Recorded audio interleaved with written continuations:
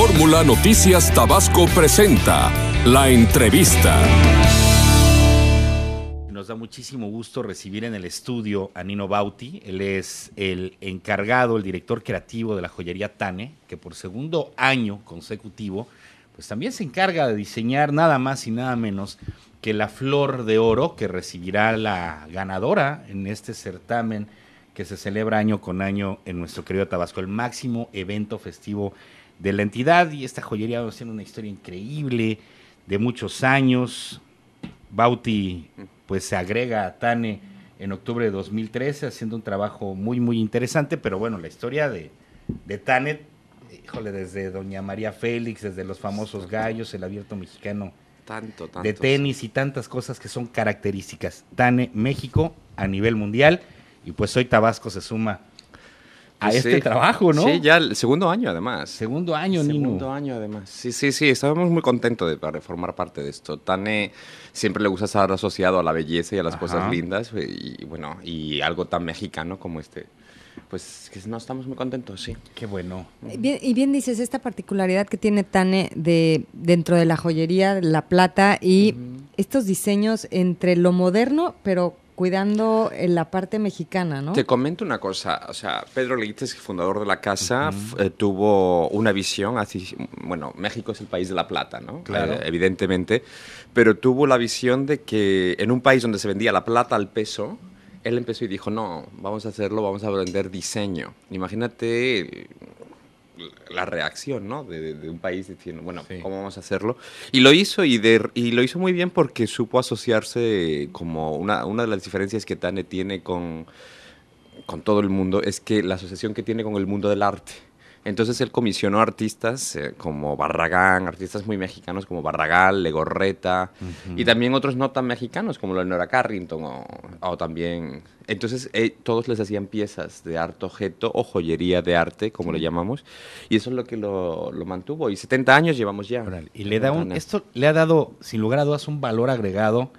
Bueno, pues un elemento que no sobra, pero sí es, eh, tiene una presencia importante en nuestro país, como la plata. Ujú. Le da el valor agregado de internacionalizar nuestras tradiciones, nuestro folclore, nuestras artesanías, pero con un diseño muy, muy bello. ¿no? Sí, es eh, evidentemente en, en México hay otros, ha habido otros plateros, los hay, y, y es ese estigma de, oh, la plata mexicana, la plata barata, no, con Tane es la sofisticación mexicana lo que nosotros estamos intentando eh, exportar al mundo, ¿no? Sofisticación mexicana. Y ahorita que hablabas de esta relación con estos arquitectos, artistas, la parte de la cultura, pero en la parte moderna los vemos participando en eventos como, eh, bueno, está el abierto de tenis, El abierto de que tenis, hacen el trofeo, acabamos, el sí, guaje, sí. ¿no? Sí, el guaje, sí. Y ahora acabamos de...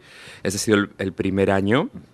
Además, el primer diseño que yo, que yo hice cuando me incorporé a Tane, que fue el... eh, del- Carelles, eh, ¿no? De Carelles, sí. el del, para el Festival de Cine de, y Arte de, de Carelles, que, que ha sido impresionante. Eh, se lo dimos este año a Guillermo Arriaga. Arriaga.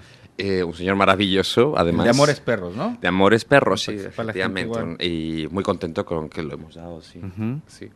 Y, a- y aquí en Tabasco es el segundo año consecutivo. El segundo año El año pasado en, en esta eh, entró esta nueva administración y estaban tratando de entender cómo hacer la feria.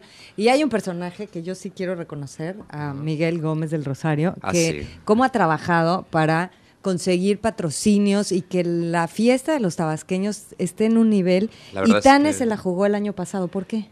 Pues porque, primero porque es un proyecto muy bonito, muy mexicano, y segundo porque también, eh, pues nosotros estamos ahora aquí en, en Tabasco también, Palacio de Hierro, Ya. y que por cierto la flor está ahí, que cualquiera que la quiera ver todavía está ahí hasta En mañana, ¿no? Está, sí. Pues sí, hasta mañana que se entrega en la noche.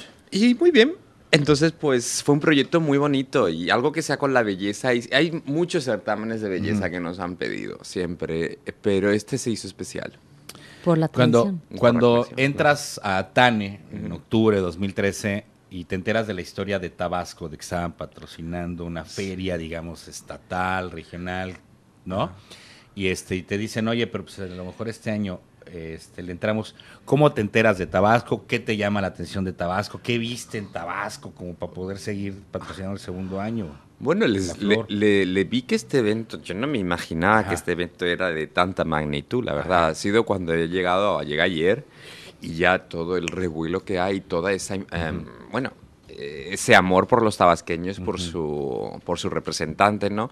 Y otra cosa que también se valora mucho a la hora de, la- de elegir a esta chica, no es solamente la belleza exterior, que evidentemente todas son bellísimas, también e- esta chica va a ser una representante de Tabasco, ¿no? Entonces pues tiene que tener es, pues, ciertas cualidades, ¿no? Y cierta simpatía, que también muchas veces la gente se queda con la belleza externa y, y- y no, No. y no. Entonces también tiene que tener una gran, gran, gran dignidad humana esta chica y, y, pues va a representar a todos vosotros, ¿no? Los tabasqueños. Y a, México, pues. Eh, Pues sí, de aquí, de, de aquí, de, de Tabasco a México y de México al cielo, ¿no? La inspiración para el diseño de la flor, ¿en qué se basó? Las flores de aquí, lo único que se ha hecho es esquematizarla hasta el punto álgide y hacerla como más, ah, un poco más abstracta. Pero sí, es una flor tabasqueña, es, es el espíritu de Tabasco. ¿Es Ah. una fus- fusión de flores? Eh, Eh, ¿Alguna característica más apegada, digamos, a una orquídea, una rosa, una cosa así? No, es, mira, son pétalos. El, el diseño son pétalos agregados, ¿no? Entonces es lo que significan estos pétalos son es, pues las cualidades de esta chica. Que no solamente ya, repito, tiene que ser la belleza externa, sino también, por ejemplo, una inteligencia, la humildad. Porque no hay cosa más, más horrible, ¿no? Que una belleza como ¿Vacía? demasiada- Sí.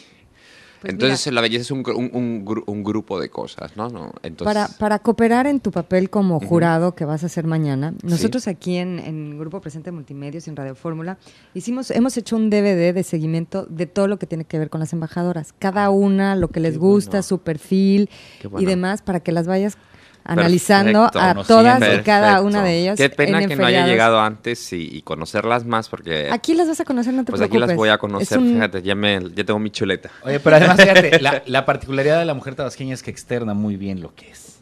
Así. Y las vas a percibir en su mirada, en su caminar, en la forma de Bueno. expresarse.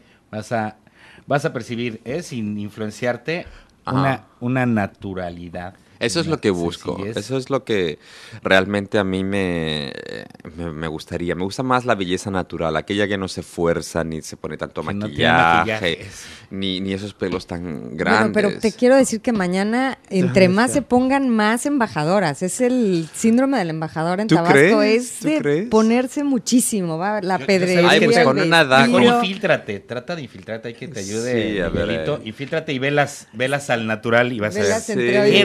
Hermosas están las Yo, yo es que siempre digo que a esa edad, por ejemplo, esas chicas, es que no menos es más. O sea, el, el- ese, ese empeñarse en crecer tan rápido me, me- me choca un poco porque cuando están tan bonitas es Claro, cuando pues, están así, tan cuando simples Pero, con su pero el propio... tema embajadora es más mejor. Incluso hace poco estuve conviviendo con unas amigas que fueron embajadoras, incluso una fue Flor. Y estábamos así, que si quien se Ujú. ponía el collar y un Ujú. poco de viaje, y le entra una a la otra. Ya me entró el síndrome de la embajadora. Voy por el collar, voy por los aretes. Y el vamos a hacer una y vamos a hacer una sesión de fotos. No, no, no, yo quiero más y más. El y más. molcajete y el Me moría perico. de la risa. Ay, pero es parte bueno. del folclore. Eh, ¿Tú crees? Ah, Yo Verás no sé. ese- ah, verás, tienen que ser, por supuesto, a- las chicas tienen que llevar ese, pues esas joyas y es un arreglo más, ¿no? No, te- no la puedes poner con la cara lavada. Pero eso sí, también tampoco se deben de olvidar de su belleza natural. O sea, yo creo que mm, yo eh, muchos años que me llevé de editor de moda.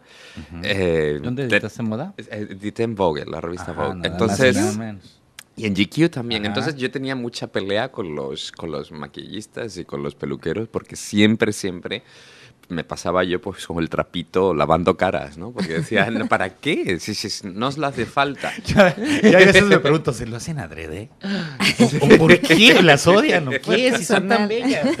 No, Sí, pero es, digo. no, es que cuando hay una belleza natural, no hace falta. Es como si vas a la, a- al Louvre, a la Gioconda y le, le pones una brocha de pintura, ¿no? ¿Para qué no la necesita?